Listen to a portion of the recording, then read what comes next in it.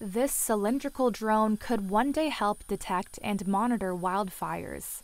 The Firefly, created by a team from Stanford's School of Engineering and Sweden's Linköping University, sports one fan propeller on the inside of its 3D printed body.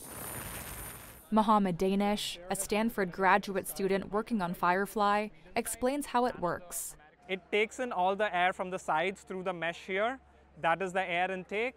And taking the air from the sides and blowing it downwards kind of generates a thrust, more like a rocket, but there is no fuel combustion happening here. And these vanes kind of guide it precisely of how to guide the airflow so that it stabilizes itself and stays in the air. When launched in a wooded area, Firefly ascends to just above the canopy, performs a full 360 degree panoramic scan, then returns to land.